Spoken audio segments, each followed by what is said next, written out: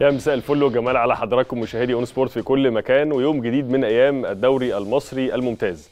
النهارده استاد مصر بيفتح أبوابه لافتتاحية الأسبوع رقم 15 من بطولة الدوري، النهارده عندنا لقاء وحيد في يومنا مع حضراتكم النهارده. اللقاء ده هو لقاء المقاولون العرب اللي بيستضيف طنطا على استاد المقاولون العرب في تمام الساعة الخامسة مساء. صاحب الأرض فريق المقاولين اللي بيقدم أداء هايل الموسم ده مع كابتن عماد النحاس بيدخل هذا اللقاء وفي المركز الثاني بعد ما لعب 14 لقاء جمع خلالها 29 نقطة بعد خسارته الأخيرة أمام النادي الأهلي أما الفريق الضيف فريق طنطا فبيدخل هذا اللقاء وهو في المركز ال 13 بعد فوزه الأخير على جونة عشان يوصل لنقطة رقم 13 من أصل 14 لقاء خاضهم حتى الآن في بطولة الدوري طاقم تحكيم هيدير هذا اللقاء بقيادة الكابتن محمد أبو خاطر واثنين مساعدين الكباتن رجب محمد وكريم يونس وكريم يونس. أما الحكم الرابع فهو الكابتن مصطفى مدحت. بالنسبة بقى الجوله ال 15 ولقاءات الجولة ال 15 ومواعيدها وافتتاحيتها اللي هي النهارده لقاء المقاولون وطنطا ده في تمام الخامسة مساء على استاد المقاولون العرب. بعد كده هنستكمل لقاءات الجولة رقم 15 من بطولة الدوري بكرة بمشيئة الله بلقاءين اللقاء الأول هو حرس الحدود وأسوان في تمام الثانية والنصف ظهرا ثم لقاء مصر المقاصة وطلائع الجيش في تمام الخامسة مساء. هتستكمل لقاءات الجولة 15 يوم الثلاث بلقاء وحيد هو لقاء وادي دجلة والزمالك في تمام السابعة والنصف مساء. بعد كده هيبقى عندنا لقاءين يوم الأربع المصري والجونه الساعة 5 والساعة 7 ونص نادي مصر مع فريق بيراميدز.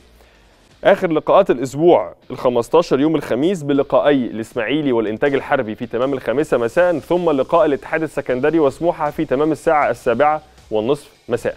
آخر لقاءات هذه الجولة هو لقاء الأهلي وإمبي ولكن ده تم تأجيله. ده بالنسبة للقاءات الجولة رقم 15 أما فيما يخص جدول الترتيب فما زال النادي الأهلي متعملق ومتفوق ومتربع على قمة جدول الترتيب برصيد 36 نقطة. 12 لقاء خاضهم حتى الآن لا تعادل ولا هزيمة. المقاولون العرب في المركز الثاني 29 نقطة الاتحاد السكندري في المركز الثالث 25 نقطة 24 نقطة الزمالك في المركز الرابع. بيراميدز في المركز الخامس المركز السادس الإنتاج الحربي المركز السابع إم بي سموحة في المركز الثامن حرس الحدود في المركز التاسع المركز العاشر الإسماعيلي المركز ال11 المصري وادي دجلة في المركز ال12 طنطا في المركز ال13 الجونة في المركز ال14 المركز ال15 مصر المقاصة طلائع الجيش في المركز ال16 نادي مصر في المركز ال17 وقبل الأخير وفي المركز الأخير بيأتي فريق أسوان في المركز ال18 ده جدول الترتيب ودي لقاءات الجولة رقم 15 أما فيما يخص الأجواء واستعدادات الفريقين لهذا اللقاء سواء المقاولين أو طنطا ده اللي هنتعرف عليه حالا من استاد المقاولون العرب مع الزميل العزيز محمد بدراوي. اتفضل يا أبو حميد. محمود بدراوي أنا آسف. اتفضل يا حودة. برحب بيك زميلي العزيز إبراهيم عبد الجواد وبكل مشاهدي أون سبورت في كل مكان. هنا من استاد المقاولون العرب بالجبل الأخضر ومباريات طبعا نادي المقاولون العرب ونادي طنطا ذئاب الجبل في مواجهة أبناء السيد البدوي. نادي المقاولون العرب بيأدي واحدة من أفضل انطلاقاته في السنوات الأخيرة تحت قياده مديره الفني الكابتن عماد النحاس 29 نقطة بيقبع في المركز الثاني حتى الآن. بعد الهزيمة الأخيرة أمام النادي الأهلي بثنائية نظيفة استمر في تدريباته. حاول الكابتن عماد على طبعا علاج بعض الأخطاء اللي وقع فيها لاعبيه في مباراة الأهلي الأخيرة وكيفية علاج المشكلة الدفاعية اللي ظهرت في خلال اللقاء الأخير. مما أدى إلى طبعا نمونيا مرماهم بهدفين. وحاول أيضا على كيفية التنوع الهجومي استغلال الأطراف اليوم لضرب التكتلات المتوقعة من فريق طنطا في لقاء اليوم. في المحاضرة أكد لاعبي ضروره الفوز وعودة نغمة الانتصارات مرة أخرى لنادي المقاولون العرب من أجل استمرار في المركز الثاني وبيأمل طبعا هذا الموسم في انهائه في المربع الذهبي. أبرز غيابات نادي المقاولون العرب بيغيب محمود أبو السعود نظرا لوفاة والده طبعا نقول له البقاء لله وبيغيب أيضا محمد سالم وسوسته وأحمد الشيمي الإصابات المختلفة. أما على الصعيد الآخر طبعا أبناء السيد البدوي نادي طنطا وبعد الفوز المهم الأخير. كان ثلاث نقاط غالية جدا تحت قياده مديره الفني كابتن أيمن زين والفوز على نادي الجونة بهدف مقابل لا شيء. استمر في تدريباته. وحاول الكابتن أيمن مزين على دراسة فريق المقاولون العرب جيدا وقوفه على نقاط القوة والضعف وكيفية طبعا استغلال الفرص. حاول على علاج مشكلة اهدار الفرص السهلة من لاعبيه من منذ بداية الموسم الحالي. وأكد لاعبيه في المحاضرة ضرورة استمرار طبعا النتائج الإيجابية. وبيطمح طبعا في الفوز اليوم على أقل تقدير الخروج بنتيجة إيجابية. من أجل الخروج تماما من منطقة قاع الدوري ومنطقه الخطر. أبرز غيابات نادي طنطا بيغيب الثنائي كل من كابونجا طبعا وأيضا لاعب محمد الشاذلي للإصابة. دي كانت كل أجواء وكل ما يخص عن فريقي نادي المقاولون العرب ونادي طنطا هنا من استاد الجبل الأخضر. وأكيد الآن العودة للزميل العزيز إبراهيم عبد الجواد واستاد مصر. كل الشكر للزميل العزيز محمود بدراوي. أطلعنا على آخر الأخبار والاستعدادات الخاصة بفريقي المقاولون العرب وطنطا قبل لقائهما معا بعد دقائق قليلة بمشيئة الله. خلصنا الأخبار خلصنا جدول الترتيب خلصنا لقاءات الجولة 15 جه ميعادنا مع النقاش والتفاصيل الفنية الخاصة بهذا اللقاء مع نجومنا ومحللينا الكبار الكابتن علي ماهر وكابتن محمد أبو العلا. ولكن بعد الفاصل خليكم معنا. بنجدد الترحيب بحضراتكم مرة تانية. النهاردة عندنا لقاء وحيد في افتتاحية الجولة رقم 15 من بطولة الدوري المصري الممتاز. لقاء المقاولون العرب وطنطا في تمام الخامسة. مساء على استاد وأرضية المقاولون العرب. لقاء مهم جدا وبدوافع مختلفة سواء للمقاولين العرب أو لطنطا. قبل ما نغوص مع حضراتكم في التفاصيل الفنية الخاصة بهذا اللقاء خلينا ننوه لحضراتكم عن تغييرات هتلاحظوها بكرة بمشيئة الله على شاشة أو شاشتي قناتي ON و Time Sports بمشيئة الله من بكرة هيبقى في تغيير في الخريطة البرامجية للقناتين. بعض التغييرات هتاخد فترة وجيزة لحين إتمام عملية الدمج ما بين قناتي ON Sports و Time Sports لتكون مجموعة وشبكة قنوات ON Time Sports بديكورات مختلفة بمحتوى مختلف تماما بشغل مختلف تماما تماما يكون أفضل بمراحل إن شاء الله من اللي إحنا موجودين فيه دلوقتي عشان نكون دائما عند حسن ظن حضراتكم. بإذن الله التغييرات دي هتتم من بكرة بمشيئة الله يوم الاثنين 27 يناير. هتكون لغاية فترة أو هتمتد لغاية فترة وجيزة مش فترة كبيرة. بعد كده يتم إتمام عملية الدمج بمشيئه الله لنكون دائما عند حسن ظن حضراتكم بمحتوى مختلف تماما مليء بالمتع البصرية الخاصة بالرياضة المصرية وبإذن الله محتوى آخر غير الرياضة المصرية والكرة المصرية. نرجع بقى مع حضراتكم مع الرياضة المصرية والكرة المصرية والدوري المصري. ممتاز عندنا لقاء مهم جدا المقاولون العرب وطنطا. زي ما كنت لسه بقول لحضراتكم المقاولين وطنطا دوافع مختلفة تماما. المقاولين في المركز الثاني بيقدم موسم ولا أروع مع كابتن عماد النحاس. على الجانب الآخر فريق طنطا واحد من الفرق الصاعدة لبطولة الدوري. بيقدم أداء جيد بس النتائج طبعا فيها مشاكل وفيها ups and downs بشكل كبير جدا مع كابتن أيمن المزين. وإن كان بيقدم أداء إلى حد بعيد وفقا للإمكانيات المتاحة يعني ممكن نقول عليه مرضي لعشاق طنطا ولمسؤولي إدارة طنطا. هنغوص معاكم في التفاصيل الفنية ونسترسل فيها مع نجومنا ومحلينا الكبار نجمنا الكبير كابتن علي ماهر. كابتن علي مشرفنا ومنورنا. مساء الفل عليك. حبيبي أخبارك إيه؟ ربنا يخليك. كله تمام منور الدنيا. ربنا يخليك. ونجمنا الكبير كابتن محمد أبو العلا. أبو مساء الفل عليك. أيوه مساء أخبارك إيه؟ كله تمام. كله تمام؟ منور. الدنيا. هنرجع مع حضراتكم ونتكلم مع بعض عن كل التفاصيل الفنية الخاصة بلقاء المقاولون العرب وطنطا. ولكن بعد هذا الفاصل خليكم معنا. قبل ما نعرف رأي كابتن علي ماهر في تشكيلة فريق المقاولون للقاء اليوم خلينا نتقدم بواجب العزاء للكابتن مح- محمود أبو السعود حارس مرمى فريق المقاولون العرب لوفاة والده خالص تعزينا ليه ولاسرته ربنا يلهم يلهمهم الصبر والسلوان. ويا رب إن شاء الله الوالد يكون في الفردوس الأعلى وربنا يرحمه ويغفر ليه بمشيئة الله. كابتن علي النهارده عندنا تغييرين في تشكيلة المقاولين العرب عن اللقاء اللي فات، اللقاء اللي فات قدام النادي الأهلي كان محمود أبو السعود طبعا ده لظروف خاصة ربنا يرحم والده يا رب. يا رب. آه، وخالص تعزينا ليه. أما النهارده طاهر محمد طاهر فبيعود على حساب محمد سالم. رأيك في تشكيلة المقاولين العرب؟ آه المقاولين آه التشكيلة يعني كلهم بيلعبوا يعني كل اللي مم. موجودين بيلعبوا. حتى طاهر محمد طاهر لعيب آه لعيب هايل ولعيب تقيل ولعيب آه عنده حلول كتيرة جدا. أنا شايف النادي المقاولين ماشي هايل. يعني أنا الكابتن عماد النحاس حاجة محترمة جدا وماشي وعامل شغل كويس قوي مع مجلس الإدارة كمان وبيدوا له الثقة إن هو بيجددوا له. حاجة حاجة محترمة يعني جدا. يعني هو ده هو ده اللي بقى فيه عارف اللي هو فيه ترابط وتناغم مع بعض الاثنين يعني. آه وبعدين بقى يعرفوا يكسبوا. يعني حتى ممكن ما يكونش أدائي بقى يعني مش مش عالي قوي لكن بقى يكسب. بيكسب ب ب ب وكمان آه بقى بقى بقى في حتة تانية خالص. لكن الأهم بقى الطموح. يعني مهم قوي إن أنا يبقى عندي طموح إن أنا عايز كمان أكسب الفرق الكبيرة. يعني ماتش الأهلي هيبقى فيه جراء أكتر. ماتش الزمالك يبقى فيه جراء أكتر. عايز أكسب بقى. يعني اللعيبة وصل لها دلوقتي إن أنا بعرف أكسب. عندهم ثقة المكسب. ودي حاجة مش مش سهلة. فأنا شايف إن هو مهم جدا إن الفترة الجاية يطور بقى إن أنا أبقى إن أنا عايز أبقى في مكان تاني لازم ما انزلش. خلي بالك لسه بدري قوي إحنا كل ده لسه الدور الأول لسه ما خلصش صح. فلسه بدري جدا. ف... فمهم جدا اللعيبة دي ما, ما... ال- ما تريحش. الرغبة طموحات. بتاعتها والطموح بتاعهم ما ينزلش. لأن لو نزلت هتلاقي نفسك في حتة هتلاقي نفسك من شوف أنت تاني دوري أو تالت دوري هتلاقي نفسك في حتة تانية خالص. فده مهم جدا إحنا بنقولها من دلوقتي لأن أنا عارف اللعيب المصري مهم جدا. مش كابتن عماد اللي كل شوية يقعد يخلق للعيبة دوافع يا إبراهيم. أنت عارف آه، آه، اللعيب محمد صلاح كل يوم عايز يبقى عامل إزاي. كل يوم طموحه عامل كل يوم رغبه عند عنده عاملة إزاي؟ كل يوم عايز يطلع كل يوم عايز يبقى أحسن كل يوم عايز يبقى أحسن لعيب كان كان فين؟ آه، محمد صلاح اللي شافه إحنا دايما بندي مثل بيه لأن نموذج لعيب حاجة محترمة وللتطوير اللي شافه محمد صلاح إن هو يمشي من من من تشيلسي ومورينيو مشاه يوقع أي حد مظبوط يعني صح. مش كده ولا اي مظبوط. أي لعيب أي لعيب مصري لو جاي ياخد يو- اللفة من أولها برافو عليك. من فيورنتينا وفر- ويمشي وي- ويروح هناك ويبقى brand ويروح هناك ويكسر الدنيا ويجيب إجوان و... لحد ما بقى من أحسن لعيبة في العالم أحسن صحيح. من ثلاث لعيبة في العالم تمام هنرجع نكمل كلامنا مع حضراتكم ونعرف رأي كابتن محمد أبو العلا في تشكيلة فريق طنطا ولكن بعد هذا الفاصل خليكم معنا. بنرحب بحضراتكم مرة ثانية كابتن أبو العلا بالنسبة لتشكيلة فريق طنطا. نفس التشكيلة في آخر لقاء بعد ما كسبوا الجونة 1-0 مفيش أي تغييرات من الكابتن أيمن مزين خلي بالك الفرقتين يعتبروا مثبتين تشكيل. حتى المقاولين التغييرات اللي بالظبط موجودة تغييرات نتيجة- طفيفة جدا. آه نتيجة لا نتيجه إن أبو سعود عنده حالة حالة وفاة. بنعزيه كلنا. وإن طاهر محمد طاهر محمد سالم مش موجود غايب فهو فضل يلعب طاهر بقاله بالظبط فترة. كبيرة ما بيلعبش. فعارف ممكن يكون حل من الحلول إن أنت ما تقعدوش على الدكة فتخسر تغيير. هو يبدأ بيه يدخله في الثقة بسرعة جدا ويجيب رتم المباريات وفي نفس الوقت ممكن يبقى ياخ- ياخد منه اللي هو عايزه 50 60 دقيقة ويغيره بدل ما ينزله ويخسره. صحيح. فدي فكرة. طنطا نفس الكلام يا إبراهيم مثبت تشكيل بشكل كبير. فريق منظم آه، فريق منسجم فريق آه، خلي بالك أنا عجبني في طنطا حاجة المباراة اللي فاتت عملها جدا. لما تخرج من الأهلي خسران 5-0 آه، وبعديها بخمس ست أيام تكسب ده تحول مهم جدا ده صح. شغل جيد جدا من ايمن مزين إن أنت بتشتغل على الجانب النفسي وإنك تعرف توصل لعيبتك إن أنت عندك الثقة ما تفقدش أو يبقى في خلل يحصل بعد نتيجة تقيلة. خماسية دي رقم كبير جدا جدا. أنت ممكن يهز ناس كتيرة جدا. في خمس ست أيام تعمل التحول ده ده شيء من أنواع التوازن ومن البعد النفسي اللي أنت مهم قوي تشتغل عليه كمدير فني. طنطا فريق منظم طنطا فريق آه، كان عنده مشكلة دايما في الشق الهجومي يا إبراهيم. عشان كده أعتقد إن إيمن مزين بيحاول يشتغل على الشق الهجومي ابتدى يدعم. اونش لما جه آه، دايما كان عنده في مشكلة الوصول للمرمى آه، التلت الهجومي عنده مشاكل في التهديف.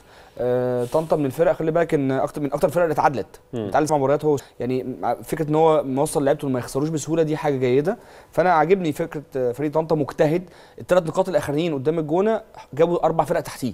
فده خلاه يشتغل بشكل مختلف ويبقى يخلي الدوافع عنده الفريق يعني يخلي حظوظه لسه موجودة في الجدول فاصل سريع ونرجع نكمل كلامنا عن لقاء المقاولون العرب وطنطا. تشكيل المقاولون العرب في حراسة المرمى حسن شاهين رباعي في خط الظهر حسن الشامي فاروق فاروق نور الدين ومحمد سمير وأمير عابد. ثلاثة في خط النص كريم مصطفى ومحمد مجلي ومعروف يوسف. قدامهم اثنين شكري نجيب وطاهر محمد طاهر وسيف الجزيري راس حربة قائمة البدلاء أحمد عربي إبراهيم صلاح فادي نجاح. عبد الله ياسين محمد عصام لويس إدواردو وأيمن حفني طبعا وظهور خاص جدا لأيمن حفني واحد من أهم نجوم نادي الزمالك السابقين. تشكيل فريق طنطا علي فرج في حراسة المرمى. علي فرج كان واحد من المتألقين في اللقاء السابق أمام فريق الجونه رباعي في خط الظهر آه، إيهاب سمير محمود مسعود سليمان عبد رب وأحمد سالم صافي. اثنين في خط الوسط الدفاعي حسام غالي وأحمد الشناوي. قدامهم ثلاثة تحت راس الحربة محمد ماجد قنش ووليد عادل وأحمد فهمي. وراس حربة إسلام فؤاد قائمة آه، البدلاء محمد فتحي ومحمد العشري محمد أسعد محمود منصور وأحمد الألفي وماريو آه، برنارد وعبد الرحمن الدح آه، التغييرة المفضلة لكابتن أيمن المزين في الشوط الثاني. فاصل سريع ونرجع نكمل كلامنا. خليكم معانا أحب بحضراتكم مرة ثانية كابتن علي. فريق طنطا مع بداية لقاءات الدوري كان بيلعب 10 ورا الكورة. وحقق نتائج جيدة. بعد كده ابتدى كابتن أيمن المزين يطمع فيما هو إيه أكتر من كده. النتائج اتهزت شوية. رجع تاني لنفس الأسلوب القديم. الدنيا مشيت معاه كويس وكان آخرها لقاء الجونة وكسب آه، 1-0 تتوقع إن النهارده هيشتغل بنفس الطريقة بنفس الشغل الدفاعي ونفس التمركز الدفاعي؟ يعني دي حاجة انت بتقولها آه يعني بس عايز أقول حاجة قبل قبل الحتة دي. اتفضل. إن الثلاث فرق آه، طنطا و FC واسوان الثلاثه آه آه، لما بيكسبوا بيكهربوا الجدول. بدليل طنطا لما كسب الماتش اللي فات بتاع الجونة كهرب الجدول جاب ناس جاب ناس من الفرق الكبيرة تحتيه. صح. ده رقم واحد. رقم اتنين طنطا بالذات وأسوان لازم يستغلوا الملعب بتاعهم. يعني ما ما إزاي لحد دلوقتي مثلا طنطا مش كسبان تقريبا غير ماتش. فإز وأسوان نفس الكلام. ماتشات على أرضه. برافو عليك. فدي نقطة مهمة جدا. آه، قوة الفريق في في, في ملعبه في الضغط اللي انت بتعمله عليه اللي انت بتعمل الضغط بتاعك على على الفرق يا إبراهيم. ده مهم صحيح. صحيح. جدا. زي طنطا زي أسوان المفروض في الماتشات تبقى رايح آه، في ملعبهم لازم عندك الثلاث نقط بتكسبهم. هنشوف النهارده المقاولين العرب هيستغل أرضه ولا لأ. هنطير مع حضراتكم إلى استاد المقاولين مع الزميل العزيز محمد الغياتي وأحداث الشوط الأول من لقاء المقاولين وطنطا. شكرا للزميل العزيز محمد الغياتي من ركلة حرة مباشرة معتادة من مدافع المقاولون العرب محمد سمير في الدقيقة 29 بيتقدم المقاولون العرب على فريق طنطا بهدف مقابل لا شيء. بيخطئها علي فرج وما بيحسنش التعامل معاها لتسكن شباكه وتسجل هدف التقدم لفريق المقاولون العرب على حساب فريق طنطا. يا ترى إيه أسباب آه، أفضلية المقاولين على طنطا خلال الأحداث ومجريات الشوط الأول؟ ده اللي هنتكلم فيه مع نجومنا الكبار ولكن بعد الفاصل خليكم معانا. بهدف معتاد من محمد سمير مدافع المقاولون العرب يتقدم المقاولين على طنطا بهدف مقابل لا شيء سجله محمد سمير في الدقيقة 29 كابتن أبو العلا رأيك في الشوط الأول؟ آه، شوط نقدر نقول متوسط آه، لأن الفرقتين كل واحد عنده رغبة الفوز المقاولين مستعجل أكتر شوية. طنطا سايب له الاستحواذ فترات كتيرة. طنطا عنده مشكلة شوية في الشق الهجومي. زي ما قلت لك دايما الشق الهجومي عند طنطا بيبقى فيه في ال finish أو النهايات على المرمى أو الفعالية على المرمى ساعات بتبقى قليلة شوية. آه، ساعات بيبقى مأمن كلهم تحت بيلعبوا تحت الكورة لكن دايما الضربات الثابتة عند المقاولين دايما بيبقى ليها حلول على فكرة وبيستغلها كتير جدا. محمد سمير من اللعيبة المميزة فيها وفرق معاهم في أهداف كتير. مظبوط. يمكن آه، سواء سواء بضربات الرأس أو بالكرات الثابتة يمكن الهدف اللي جه اللي قدامنا ده دي كوره دمها تقيل آه، ده كان ده هدفه. الخامس. محمد سمير ده هدفه الخامس النهارده. خامس السنة دي. آه آه. لكن قبليها كمان في كوره زيها برضو فاول نفس الطريقة بنفس مم. التكنيك تتلمس. المرة دي ما اتلمستش راحت لوحدها. عايز أقول لك إن الكوره دي بلغه الكوره كوره دمها تقيل على حارس المرمى جدا. يعني أنا أقدر أقول لك إنها ممكن يعني مش عايز أقول يتحملها ولكن لو طلعها يبقى برافو عليه جدا لكن هي صعبة. لأن تنفيذها جوه الملعب ما تبقاش عارف مين اللي هيلمس الكوره سواء مدافع أو مهاجم. مش مش علي فرج زايد شوية؟ لا ما أعرفش بقى. يعني لا باين يعني انت لو طبعاً ولا يا كابتن علي. هو خبرة مش كبيرة. باين من بعيد كده تحس إنه في زيادة شوية كده. مهم جدا إن هو يبقى عنده طبعا لازم يبقى وزنه يبقى أخف من كده بيفرق الحاجات دي جدا مم. في الملعب لأن أنت عارف إن اللعيب لما يبقى كيلو أبو العلا آه زيادة. ولا حاجة بتفرق جدا في. الطلوع صحيح مظبوط. فبشكل عام فريق طنطا بص يعني تنظيميا ماشي كويس كلهم بيشتغلوا تحت الكورة مفيش وصول وخطورة حقيقية من فريق المقاولين بس ان هي كرات الثابته أنا بقول لك فريق المقاولين من وجهة نظري السنة دي أنا مديله لقب بالنسبة لي أنا فريق الأذكى. أذكى فريق السنة دي. على فكرة ماتشات كتير جدا مبقاش كويس لكن بيعرف يكسب. ماتشات كتير جدا ممكن ما يهموش الأداء ويسيب لك الاستحواذ. ودايما بيلعب الفرق الكبيرة بيسيب لهم الاستحواذ وممكن. يخطف. صحيح. وعنده أكتر من مباراة كسبها 1-0 يعني كمان معدل أهدافه كمان مش عالي خلي بالك. هتلاقي جاب خمس آه، كسبان خمس ست مباريات 1-0 دي يمكن أخطر الكوره دي حلوة قوي بتاعت أحمد آه. فهمي في لعيب طنطا يمكن من أبرز الحاجات لكن أنا زي ما قلت لك بتيجي عند الناحية الهجومية أو الثلث الأخير بحس إن فريق طنطا الفعاليه بتقل شوية رغم إن في تحسن شوية عن بداية الموسم بقى الكثافه العدديه موجودة أفضل شوية. لكن فريق المقاولين أنا وجهة نظري إن هو الفريق عارف لما تقول إيه عنده شراسة متعود آه، الفريق آه، فكرة إن هو بيكسب أو دايما جاي من مكسب مدياله دايما فكرة إن هو عارف مش بسهولة يخسر مش بسهولة يدخل مظبوط. فيه أهداف. هي دي اللي صحيح. فرق مع فريق المقاولين بشكل كبير قوي كابتن علي الشوط الثاني طنطا يعمل إيه؟ وكابتن أيمن المزين يعمل إيه؟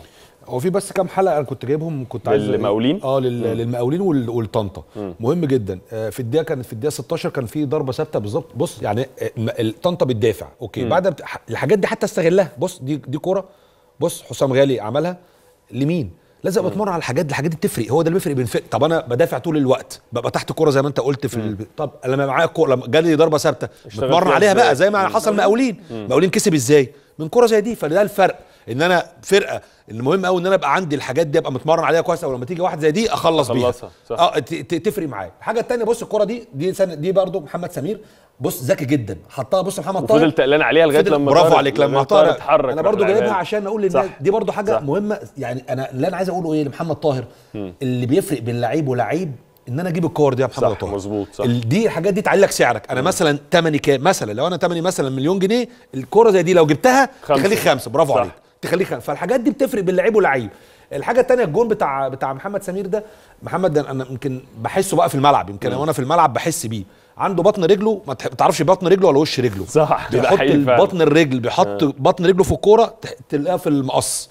فدي حتى خطر. يعني بص الكورة رايحة زي ما أبو العلا قال ما تبقاش عارف أنت هتطلعها. يعني بص حاططها مين اللي هيقابل؟ بص الجون خايف يطلع لأن هو مسمع. هو عارف إن سمير بطن رجليه جامد فهطلع طب ما ممكن تيجي كده طب ودخل الجون فعلا هو ما طلعش وده. اللي حصل. فالثقة زي ما أبو العلا قال برضو الثقه ال- إن أنا بعض يعني أقول بص بيستغل من حاجات صغيرة. إن أنا أعرف إن أنا مهم إن أنت تبقى عندك دي. الحاجة الثانية فرقة طنطا بتعمل حاجة خطر جدا. بعد ما يفقد الكورة هم واخدين تعليمات من كابتن ايمن ان هم بقى أول ما يفقد الكورة كل الناس ترجع. فما ينفعش في وقت إن أنا أرجع. آه لكن في وقت الكورة بتقطع مني لازم أضغط أكمل ضغط عليها. صح. هقطع ويبقى إن أنا أعمل حاجات خطر على المقاولين. لكن كل أول ما أول ما الكورة تقطع من طنطا والكوره يعني الكورة عندك اتقطع.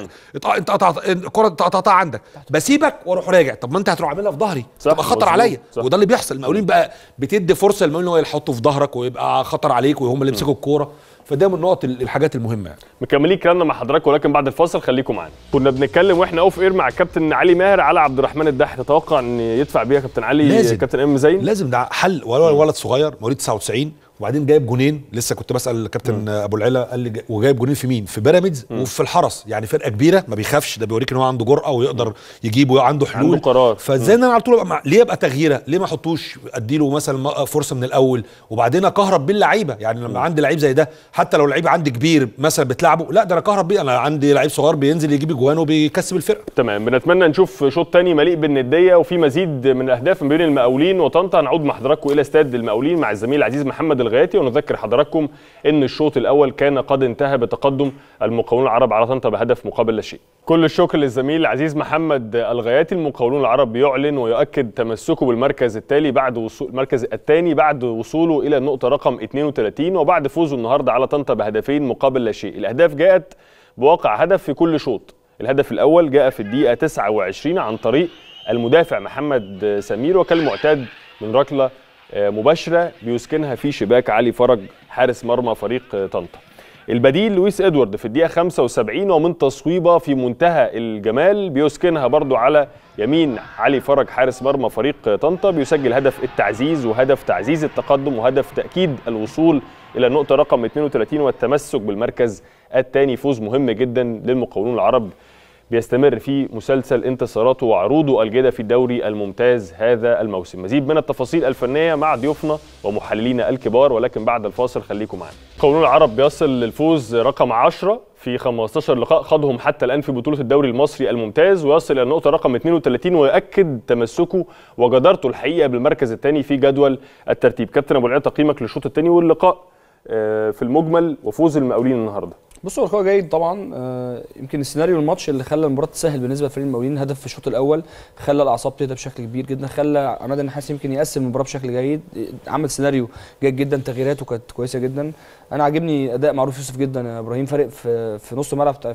نادي المقاولين عامل ثقل بشكل كبير جدا مخلي اللعيبة اللي بتلعب قدام مرتاحة لعيب بيطلع الكورة من رجليه كويس بشكل أو بآخر بيعرف يملى نص الملعب بيدافع هو لعيب مميز. قوي بصراحة عنده. مكسب كبير للمقاولين مكسب كبير جدا عايز أقول لك إن هو فارق في أداء نص الملعب بشكل كبير مخليهم عندهم ربط أفضل من اللي فات كان عندهم ساعات كتير جدا بيبقوا راجعين آه، في المناطق الدفاعية وبيشتغلوا على ال counter attack لا دلوقتي بيعملوا استحواذ جيد في نص الملعب إلى حد كبير.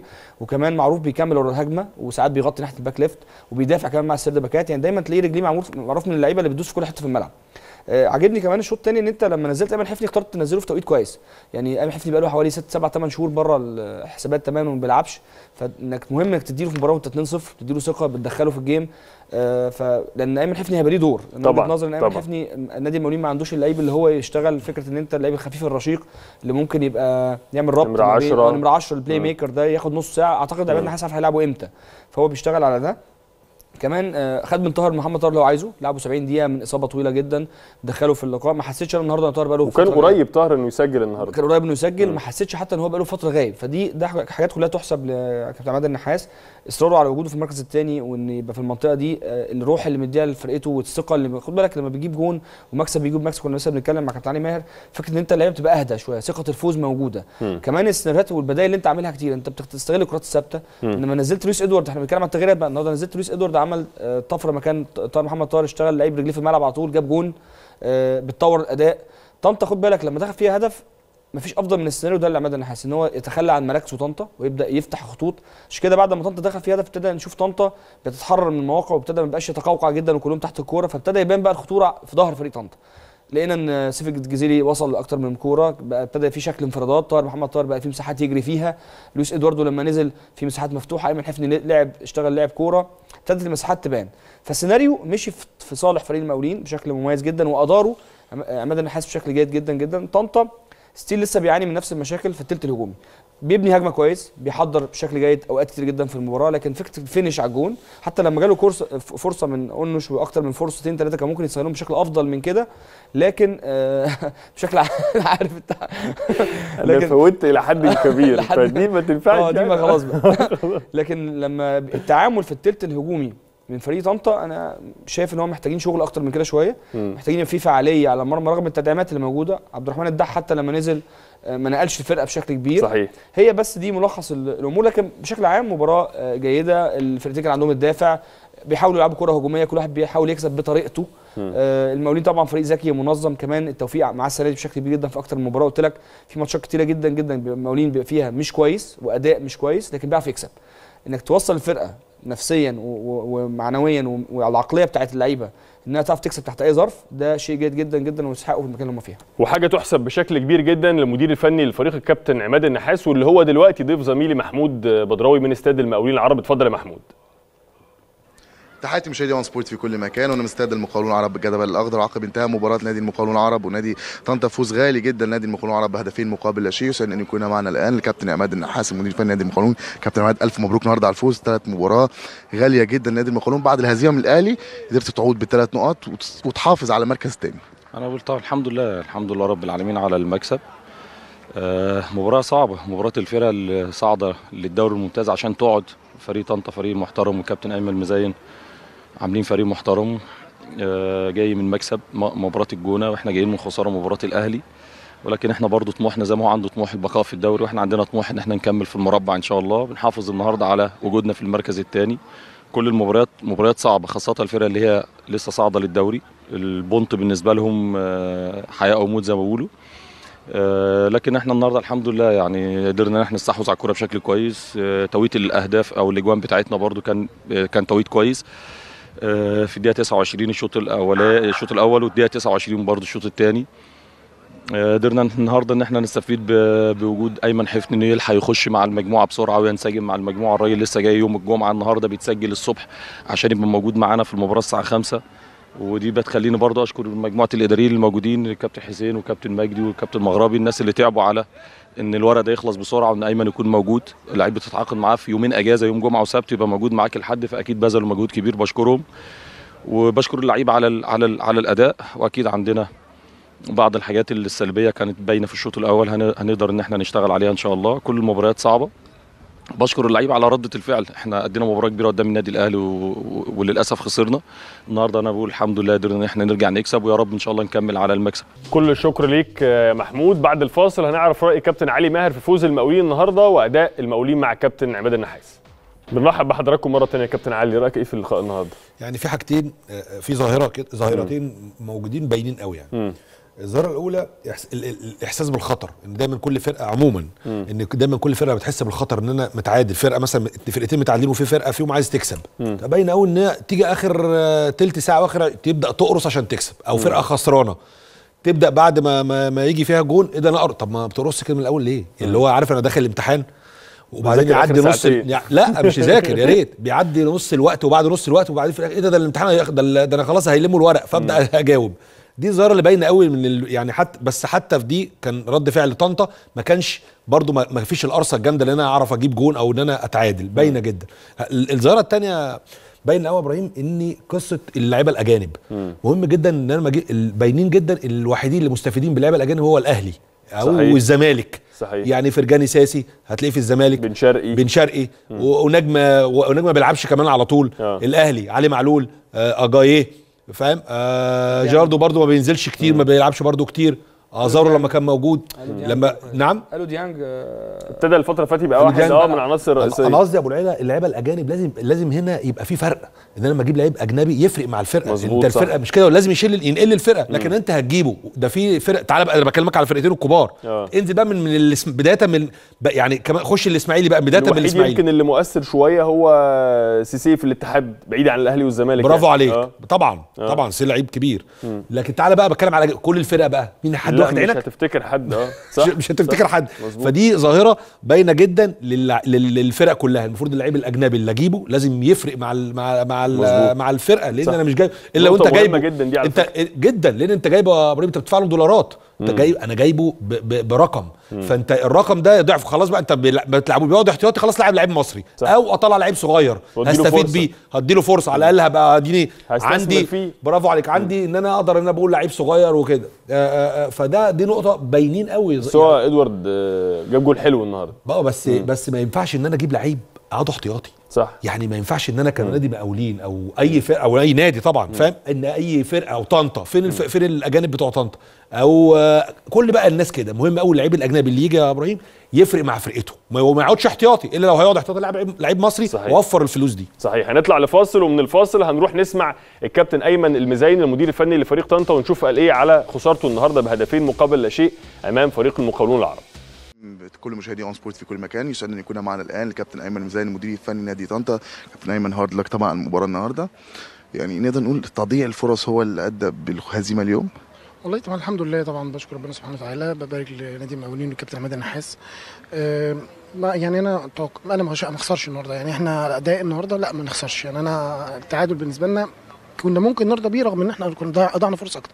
يمكن الشوط الأول آه، المقاولين ما راح- ما راحش ما راحش ولا كورة لل- للجون. آه في استحواذ وفي سيطرة في نص الملعب لكن ما فيش خطورة علينا. آه، بعد الجون رحنا بثلاث كور فيهم كورتين انفراد اونش واحمد فهمي. كنا ممكن نرجع للنتيجة تاني وكنا ممكن نتقدم في الشوط الأول. دخلنا أوضة اللبس آه، اتكلمنا مع اللعيبة دخلنا الشوط الثاني بشكل مختلف. كنا الأقرب والاكثر استحواذا وصلنا ورحنا وضيعنا في وسط سيطرتك في وسط أنت خلاص يعني بتقرب إنك تحرز الهدف وعملنا التغييرات الهجومية اللي موجودة عندنا المحدودة جدا اللي موجودة عندنا. فوجئنا بالهدف الثاني يمكن لو كنت كرة طاهر اللي جت اللي كانت قبليها لو دخلت ما كنتش هزعل. كانت أخطر وكانت أقرب. لكن الكرة دي لا يعني سهلة جدا جدا جدا وخاصه اللعيبة بنشتغل على الحاجات دي كتير قوي إن إزاي نقفل قدام ال 18 وإزاي إن إحنا نغطي بعض في ال 18 اللعيبة فتحت فتحت رغم إن الكرة برده كانت سهلة وكانت ضعيفة ما كانتش قوية لكن هقول إيه في الأول التوفيق من التوفيق فبقول الحمد لله قدر الله ما شاء فعل ربنا ييسر إن شاء الله نقفل الصفحة ونبدأ نستعد للماتش المصري إن شاء الله. تعليق الكابتن محمد أبو العلا على تصريحات الكابتن أيمن المزين ولكن بعد الفاصل خليكم معانا. هنعود مرة أخرى مع حضراتكم لاستاد المقاولون العرب ولقاء أجراه زميلنا محمود بدراوي مع صاحب واحد من هدفي اليوم نجم فريق المقاولون العرب محمد سمير.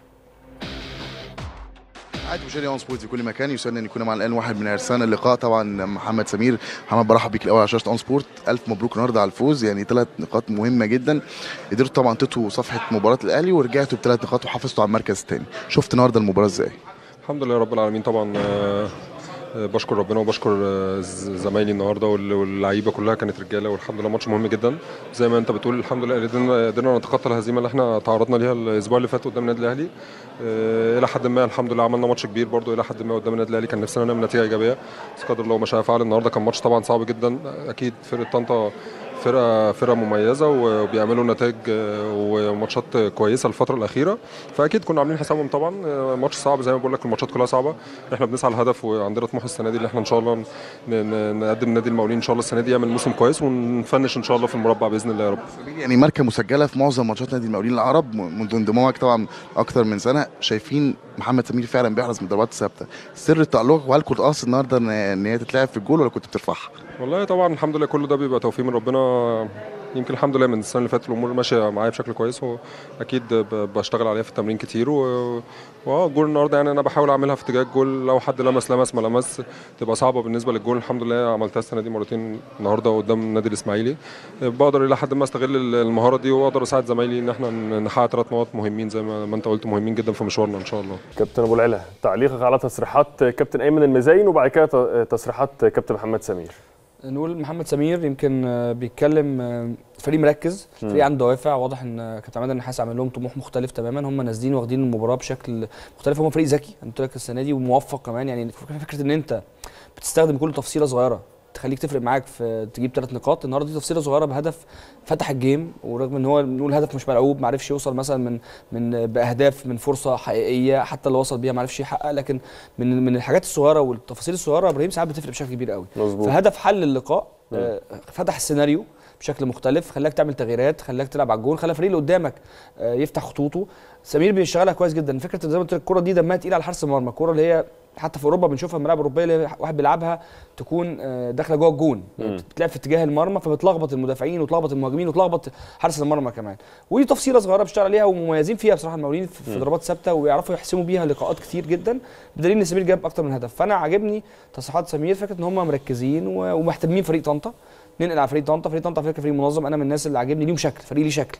فريق منظم عنده آه، استراتيجية بيلعب بيها لكن عنده يعني أنا انصحه ان هو عنده مشكله في الثلث الهجومي كبيره جدا. يعني كابتن ايمن زين اتكلم على ان دخل هدف مفيش غير الفرصه دي.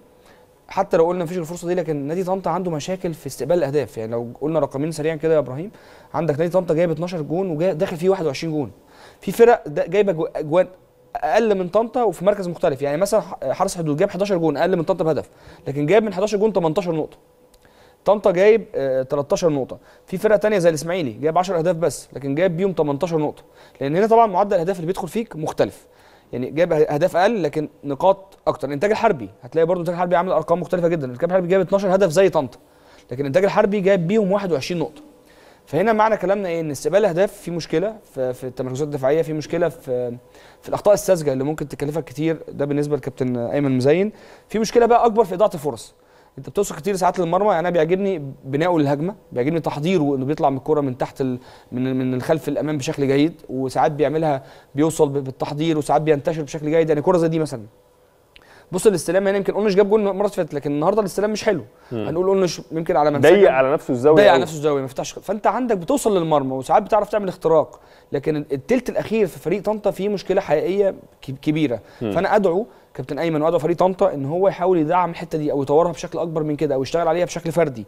كتير جدا إسلام فؤاد آه، ساعات بيشتغل. عبد الرحمن الدح زي ما كابتن علي اتكلم في إن هو ورقة مهمة. طب لازم يبقى ليه وقت أكبر لازم يشتغل بشكل فردي أكبر. بص حتى الكثافة العدديه زادت عن طنطا لكن الفينش فيه مشكلة كبيرة. بتوصل تحس إنها بتروح الكره مقتولة. ما بتروحش فيها الخطوره الحقيقيه بتموت. فدي من أكبر المشاكل اللي موجودة في في فرقة آه، طنطا. طنطا. وأنا عاجبني بقى حاجة إيجابية كابتن أيمن اتكلم فيها. يعني بص مثلا الكره زي دي ما تلم لجوه يعني إيه اعمل حطها في حاجة مختلفة احمد اعمل إنه مختلفة، عمل. شوط كويس يعني اعمل حل لازم تشتغل عليها بشكل كبير عجبني النقطة الايجابيه اللي اتكلم فيها كمان كابتن أيمن عجبتني إن هو فكرة إن هو قال هنقفل الصفحة دي ونشتغل على المباراة اللي بعديها وده عمله. في ماتش الأهلي آه. يا إبراهيم خلص اتغلب خمسة الماتش اللي بعديه بخمس ست أيام اتغلب كسب الجونة. النهارده بيخسر من فريق من المنافسين اللي هم في المركز في المر- في المراكز المتقدمة المقاولين 2-0 عنده مم، مباراة مهمة. جدا الماتش الجاي قدام. المصري تمام. فدي نقطة مهمة وبيعرف يطلع لعيبته ده شيء إيجابي. لكن أنا أدعوهم للشغل على الحتة الثلث الهجومي والشق الهجومي صحيح. أبرز المواقف والحالات التحكيمية التي تخص لقاء اليوم لقاء المقاولون العرب وطنطا مع خبيرنا التحكيمي الكبير الكابتن أحمد الشناوي. ولكن بعد الفاصل خليكم معانا أبرز وأهم المواقف والحالات التحكيمية التي تخص لقاء المقاولون العرب وطنطا مع خبيرنا التحكيمي الكبير الكابتن أحمد الشناوي. كابتن أحمد مساء الفل على حضرتك. أهلا بيك يا كابتن إبراهيم واهلا بالكباتن. النهارده مباراة المقاولين العرب وطنطا تعتبر يعني مباراة هادئة تحكيميا. مفيش ال- الاختبارات للحكم داخل منطقة الجزاء اللي هي اللي بيبقى فيها شد. لكن اللي أدار المباراة كان محمد أبو خاطر مع رجب محمد مساعد أول وكريم يونس مساعد ثاني ومصطفى مدحت حكم رابع. آه، آه، أول حالة حالة التسلل. يعني كان في ناس يعني بتقول إن مفيش تسلل في لعبه للمقاولين العرب. نشوف الحالة. طبعا لحظة لعب الكرة هي الفاصل دائما في التسلل من عدمه. شوف الحالة. ادي الخط هيطلع البيرو. آه خلاص. كده. آه متقدم أهو. واضح جدا بجزء يمكن بنص جسمه. فخلاص التسلل موجود والقرار المساعد قرار صحيح. اللعبة اللي جاية دي إحنا عاملين بوز هنا عشان الناس اعتبرتها تسلل. لا هي لمسة يد. كرة حتى تعادت عدوها في في الإخراج على إنها هنا المساعد بيرفع على لمسة اليد لأن التسلل مفيش تسلل خالص. الكرة بعيد جدا. حتى الإعادة افتكر حتى يعني كله كان فاكر إن هي لا تسلل لا هي لمسة يد ومساعد رفع على لمسة اليد. آخر حالة اللي هي الأهم حالة وهي حالة إلغاء اله- الهدف اللي ما لم يحتسب. لأن بقول ليه لم يحتسب؟ لأن هو الحكم صفر من أول ما شاف الشد هو شوف بيصفر مش صفر جول وبعدين رجع لا. لأن في طبعا شد ومسك من لاعب آه المقاولين اللي هو سيف الدين. جزيري. فطبعا ده سيف الدين الجزيري. فأنت شايفين اللعبة طبعا واضحة جدا المسك واضح والشد واضح. آه عايز أقول إن في ناس يقول لك ده هدف ملغي لا. أصلا الكرة الحكم يعني لم يحتسب الهدف. الحكم صفر على الخطأ. كون الكرة راحت هدف بالظبط أكنها خرجت خارج المرمى. يعني بره المرمى. هل هيحسبها ركلة مرمى ولا يحسب الفاول؟ هيحسب الفاول. فطبعا هنا القرار الحكم باحتساب باحتساب الخطأ. وليس ركلة الجز... وليس هدف وده القرار الصحيح لأن الخطأ موجود. عايز أقول حاجة بس مهمة جدا إن الفترة اللي جاية في المسابقة ال- المساعدين المساعدين هيلعبوا دور كبير في احتساب الأهداف من عدمه. آه، أنا شايف إن في تقدم. يعني المساعدين أفضل من بداية الموسم بكتير في حالات كتير وأنا شايف ده شيء كويس. ربنا بس يوفق التحكيم وإن شاء الله يعني بنلاحظ دايما يا كابتن أحمد إن أغلب الأخطاء من المساعدين. يعني ما ده أنا آه آه بالظبط يعني تبص تلاقي كرة هدف وبيرفع تسلل وهي هدف صحيح. أو صحيح. هدف تس... تسلل. طب ليه يا كابتن أحمد؟ إحنا عندنا دايما المشكلة دي. ما يعني ليه دايما الأخطاء من عند آه، الحكام المساعدين أكتر من حكم الساحه أنا بعتقد يمكن ال- ال- اللجنة تنبأت الأمر ده لأن ال- ال- المساعد يا كباتن هو تدريب. هي مش مسألة المساعد لازم يتدرب إنه إزاي وهو بيتحرك بالجانب ده ويربط لحظة لعب الكرة ده تدريب. لكن ما ينفعش يروح يتمرن تمرين عادي ويرجع يمسك الراية بس يا دوبك اليوم المباراة. لا ده تدريب لازم يشوف حالات ويبدأ يتمرن عليها ويبقى إيده دايما الرايه فيها ويشوف حالة ويرفع وما يرفعش والحاجات دي كلها عشان يبقى في الماتش الرياكشن بتاعه سريع, سريع زي بالظبط اللعيب لما يلعب مش ممكن تديله رد فعل. أسبوع. الماتش ما تقوليش يلعب بكورة صحيح. ده فده مهم جدا بالنسبة لل شكرا جزيلا لحضرتك كابتن. احمد. شكرا جزيلا لحضرتك. بنهاية فقرتنا التحكيمية مع خبيرنا التحكيمي الكبير الكابتن أحمد الشناوي. وصلنا مع حضراتكم لنهاية لقائنا النهارده. وفوز المقاولون العرب على طنطا بهدفين مقابل لا شيء في افتتاحية الجولة رقم 15 من بطولة الدوري المصري الممتاز. في نهاية لقائنا كل الشكر لنجومنا الكبار ومحللينا الكبار. كابتن عماد شرفتنا ونورتني شكرا جزيلا ليك. كابتن محمد أبو العلا شرفتنا الشكر شكرا- ليك. شكرا. الشكر موصول لحضراتكم على المتابعة. ونشوفكم على ألف خير بإذن الله.